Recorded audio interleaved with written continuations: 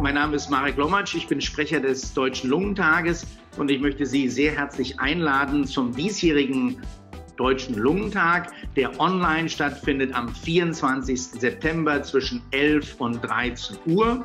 Das Thema des diesjährigen Lungentages ist Lungenerkrankungen erkennen, Sie wissen, dass Lungenerkrankungen eine immer größere Rolle spielen. Wir haben aber nicht nur die häufigen Lungenerkrankungen wie Asthma oder COPD oder Lungenkrebs, sondern wir haben eben auch sehr seltene Lungenerkrankungen. Es ist eben auch wichtig, dass der Patient sensibilisiert ist für die Erkrankungen und die Zeichen, wie man die Erkrankungen erkennt. Denn nur dann, wenn der Patient auch zum Arzt geht und dem Patient auch sozusagen versteht, worum es geht, kann natürlich die Diagnostik und die Therapie sehr viel besser ablaufen.